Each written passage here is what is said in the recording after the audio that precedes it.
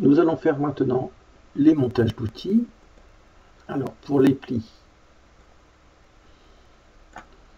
de 1 à, à 12 ici. Tout cela, je vais pouvoir les faire, tous ces plis-là. Je vais pouvoir jusqu'à... Ah oui, non, c'est euh, de 1 à 12, hein, c'est mon affichage ici. Parce que je voyais 14 ici, non, en fait c'est pas 14, c'est 10. si je zoome un petit peu, ici, hein, c'est pas, pas 14 que j'ai, c'est le 10, ici c'est 4 et 5 ici, voilà. Donc, c'est bien de 1 à 12 ici que je vais pouvoir faire avec le même outillage. Donc je vais ajouter un montage d'outils. Donc c'est le même, montage d'outils et il aura en plus ici un outillage écrasé. Ajouter montage d'outils. Je vais utiliser cet outil-là. Je ne peux utiliser que celui-là parce que je vais avoir des plis à 30 degrés.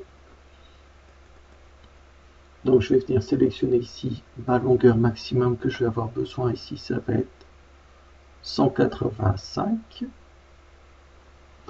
Donc j'utilise ici, je prends le 100. On peut même mettre un peu plus grand. On va mettre 190. Voilà. Je vais utiliser cet outil-là avec l'adaptateur pour faire les plis écrasés en V8 et je vais synchroniser avec mes poinçons. Je fais appliquer.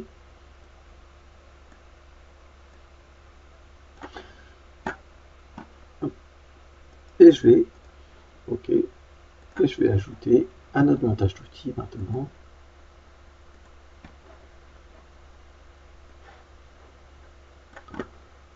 Pour pouvoir plier le 13 et le 14, je vais avoir besoin d'une longueur maximum de 93. Alors je vais prendre ici, qu'est-ce qu'il me reste comme outillage ici? Pour arriver au plus proche, je vais taper ici.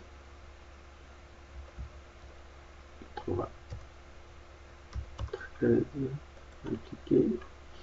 Donc il m'a mis le 30, le 35, le 25, 90. Donc ça passera juste. Je vais prendre, donc c'est 94 hein, que je devais avoir. Donc c'est pas. Donc mes 4, mes 4 mm seront répartis de chaque côté de mon outillage ici. Je vais prendre mon V8 ici. Là, j'ai pas besoin de prendre avec l'adaptateur, hein, parce qu'il sera des, euh, euh, j'ai pas de pied écrasé sur celui-là, donc je peux prendre celui-là. Par contre, il faut que ce soit un V8 quand même, la même largeur de V ici que la même largeur de V ici. Je synchronise et je fais OK. Voilà mon deuxième montage d'outils. Et je vais rajouter un montage d'outils ici. Ajouter un montage d'outils. Je reprends celui-là. Par contre, ici, là, je vais avoir ici 125.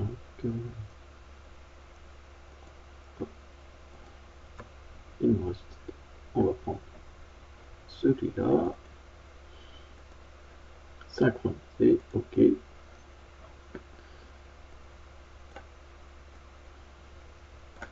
Je n'ai plus qu'à attribuer maintenant mes outillages à mes différents plis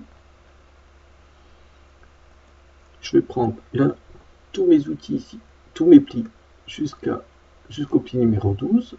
Je fais un clic droit, je vais dans Outils, choisir le montage d'outils et je vais prendre la configuration numéro 1 ici pour celui-là. Pour celui-là, je vais prendre l'outil numéro 2. Et pour le dernier, ici, je vais prendre outil numéro 3. Donc je déplace un petit peu mes outillages pour les recentrer un petit peu. Je sélectionne mes butées. Donc il y a des petites barres qui vont apparaître ici.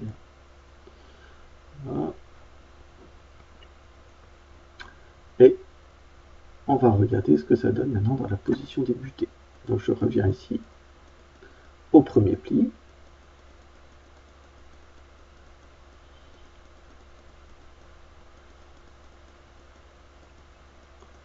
Là, je suis revenu à mon premier pli. Alors je vois ici dans mes configurations butées, il se met en appui que sur une butée. Ce qu'il faudrait, c'est que je ramène un petit peu ici mon, mon montage d'outils un petit peu plus au milieu pour que, en gros, il va se déplacer vers là, mon montage d'outils, pour que je puisse avoir accès aux deux butées. Avec une, ça suffirait aussi pour pouvoir plier ce genre de pièces-là. Hein. La, butée est assez large ici pour dire bien en appui dessus. Donc, il me fait mon premier pli. Donc, là, maintenant que j'ai bougé, je vais remettre bien. Voilà. On fait les plis. Il fait les plis à 30 degrés d'abord. Je vais juste changer la configuration. Voilà. Et ensuite, il vient se positionner comme ceci. Il recule le V en fait. Il déplace le V sur la règle et il vient écraser le pli. Voilà. On va écraser le pli.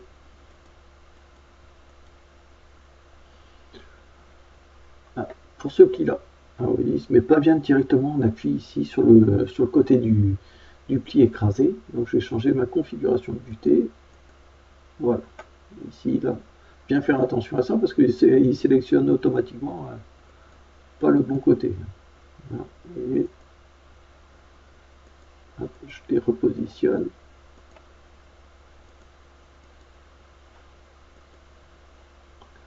On se met en appui sur le pli. Et je venir plier celui-là. Je regarde ici, dans cette position-là. Je viens plier. Voilà. Et il vient plier celle-là. Je fais simulation de pliage maintenant que j'ai tout paramétré. Donc ça sert vraiment à voir si j'ai pas de collision avec la machine ou avec les poinçons.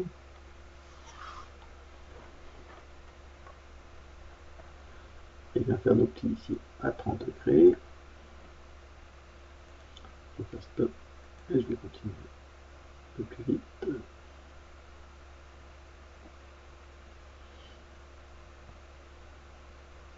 Donc, on fait les 4 plis à 30 degrés d'abord, et vous voyez, il y a eu un déplacement de la règle après pour faire les plis écrasés.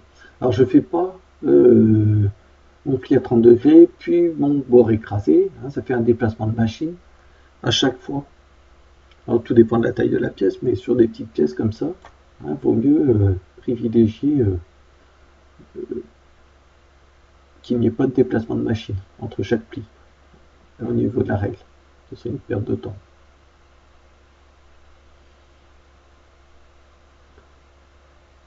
Donc je viens de finir mes plis. Donc vous voyez, je suis toujours sur le même montage d'outils.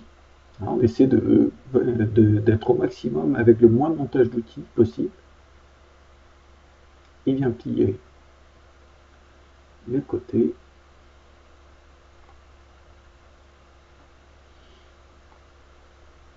Et voilà. J'enregistre ma pièce, mon, mon programme ici, enfin c'est pas tout à fait, c'est la gamme. Raben ici. Je pas. Ici. ici. Je le remplace parce que je l'avais déjà créé. Et je vais faire le rapport fichier. Je vais le faire toujours en PDF ici. Rapport 2014. Ouvrir. je vais remplacer celui-là existant. Et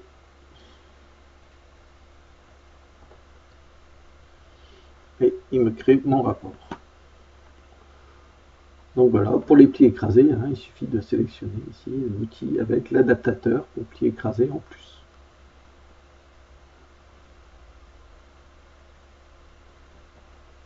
Donc, quand il aura fini, on va regarder notre rapport. Voilà.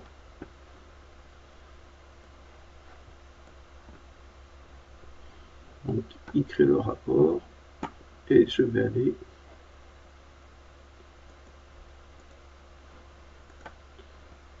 dans ma séquence ici, dans celui-là.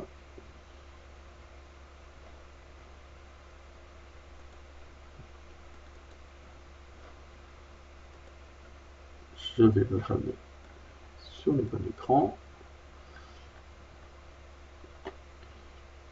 Donc voilà, mes montages d'outils ici, on voit bien l'adaptateur sur le pli, sur le montage de configuration numéro 1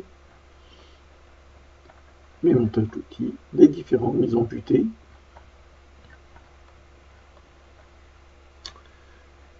et les différentes mises en position des images. Voilà,